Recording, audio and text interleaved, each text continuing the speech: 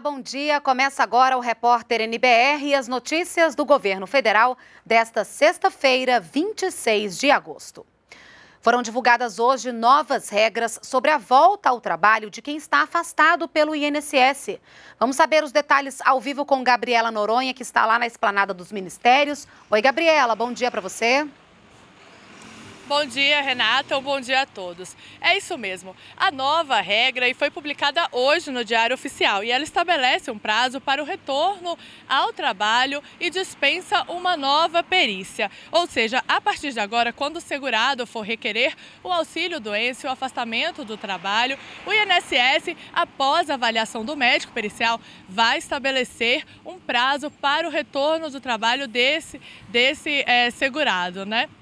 E o segurado que não se considerar recuperado no prazo estabelecido, ele pode pedir uma nova avaliação e requerer a prorrogação do prazo, do prazo aí, prorrogação do benefício. Mas esse pedido tem que ser feito 15 dias antes do prazo estabelecido anteriormente pelo INSS para o retorno ao trabalho. E o INSS vai ter aí 15 dias também para dar um retorno para esse segurado. Renata. Obrigada, Gabriela, pelas suas informações. E já está no site do Ministério do Trabalho a lista com os nomes dos beneficiários do PIS/PASEP. Os trabalhadores que ainda não sacaram o abono salarial ano base 2014 têm até o dia 31 de agosto. O prazo para sacar o abono salarial do PIS/PASEP ano base 2014 termina no dia 31 de agosto. Mais de um milhão de trabalhadores ainda não foram às agências do Banco do Brasil e da Caixa Econômica para receber o valor. Tem direito ao abono salarial de 2014 quem trabalhou pelo menos 30 dias com carteira assinada e com remuneração média de dois salários mínimos. Além disso, é preciso estar inscrito no PIS/PASEP há no mínimo cinco anos. O valor integral do abono é de 880 reais. Para saber se você tem direito ao abono, basta entrar no www.trabalho.gov.br ou ligar de graça para a Central de Atendimento Alô Trabalho no número 158. Através do site do Ministério do Trabalho, ah, possibilitando que por município os trabalhadores consultem ali e ali estará a lista daqueles trabalhadores que ainda não retiraram o seu PIS. Nós vamos agora ao Palácio do Planalto falar ao vivo com a repórter, com a repórter Paola Deorte, que tem as informações desta manhã. Oi, Paola, bom dia para você.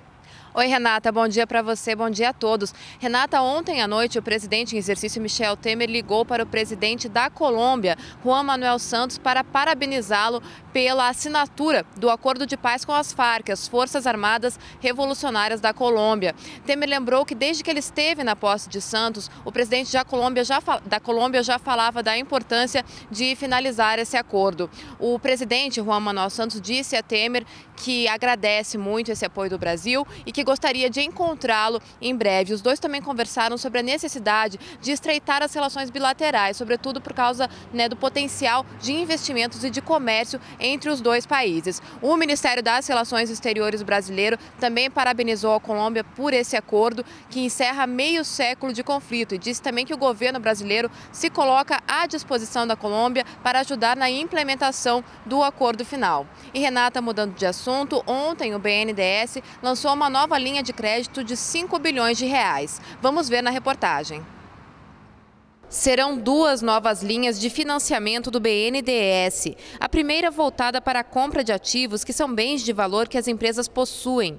Serão 5 bilhões de reais até 2017 e os ativos poderão ser comprados de empresas em recuperação judicial ou em crise e com dificuldades de conseguir crédito. A ideia é transferir esses ativos de empresas em dificuldades para empresas que possam empregá-los na atividade produtiva, contribuindo para a geração de empregos e a geração de renda no Brasil. O BNDES poderá financiar até 100% dos bens, que podem ser imóveis, estabelecimentos comerciais, equipamentos e direitos de propriedade intelectual pelo prazo de até 10 anos. O ministro do Planejamento garante que não haverá nenhum tipo de aporte do Tesouro Nacional. São iniciativas que o BNDES fará com os recursos que ele já tem é, disponíveis é, na instituição e que não haverá nenhum tipo de é, equalização nem aporte de recursos do Tesouro Nacional. A outra linha de financiamento é para capital de giro de empresas. Essa é uma linha que já existe no banco, mas que vai receber mais 2 bilhões e 300 milhões de reais para somar um total de 10 bilhões com prazo prorrogado para o final de 2017. As taxas de financiamento dessa linha também diminuíram. Por exemplo, para micro e pequenas empresas, a taxa no início do ano era de 11,59% ao ano ano. E agora é de 9,5% ao ano. Esse programa é um programa que, de capital de giro, com prazo de cinco anos, é um recurso que não existe disponível no mercado. A nossa intenção exatamente é atuar aonde o mercado não está atuando. O objetivo das duas linhas, segundo a presidente do BNDES, Maria Silvia Bastos Marques, é aumentar a produção e o emprego no país. A nossa intenção, óbvio, sendo um banco social e de desenvolvimento, foi tentar trazer, nesse momento em que nós temos um elevado, é, uma elevada taxa de desemprego, a economia com, em retração há mais de um ano, e um volume expressivo de empresas em recuperação judicial. Apenas no primeiro semestre desse ano, 923 empresas entraram em recuperação judicial. É um número quase 90% maior do que o do ano passado, no mesmo período.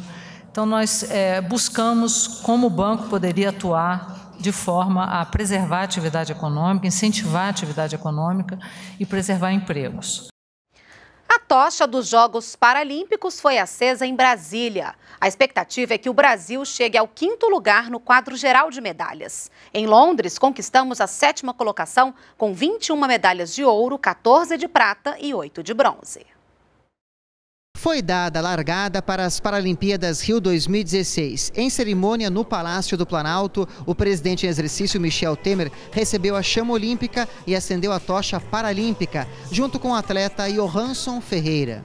A chama que vai iluminar o estádio do Maracanã na abertura dos Jogos Paralímpicos no dia 7 de setembro vai ser formada pela união de seis chamas acesas aqui no Brasil e uma na Inglaterra, berço do movimento paralímpico internacional. A partir do dia 1 de setembro, a tocha estará em Brasília, depois passa por Belém, Natal, São Paulo e Joinville. Chega no Rio de Janeiro no dia 6 de setembro. Para esta edição, o Brasil vai levar a maior delegação de atletas e tem uma meta ambiciosa é o quinto lugar geral no quadro de medalhas. É sair do sétimo de Londres para o quinto lugar. É uma meta agressiva, ela é bastante ousada. A gente tem que ultrapassar grandes potências para chegar nesse resultado, mas é uma meta factível, os nossos atletas estão preparados. É 90% dos, dos 285 atletas paralímpicos da delegação brasileira nos Jogos contam é, com apoio do Ministério do Esporte, com apoio do governo federal brasileiro. E nós queremos ampliar e essa, eu tenho certeza, é, será o, o, nosso caminho após os Jogos é, Paralímpicos. Na terceira edição dos Jogos, Johansson vai competir nos 100 metros e no revezamento 4 por 100, provas em que ganhou quatro medalhas em Pequim e Londres. E Johansson, que tem a bolsa pódium do governo federal, diz que está preparado para a competição. Eu vou dar meu melhor, que eu vou lutar, vou correr bastante para estar tá cruzando aquela linha de chegada em primeiro e quem sabe a medalha de ouro possa vir. O presidente em exercício, Michel Temer, afirmou que o Brasil vai repetir nos Jogos Paralímpicos o sucesso das Olimpíadas. E nós verificamos como, de fato, o mundo todo tirou chapéu para o Rio de Janeiro, mas especialmente para o Brasil.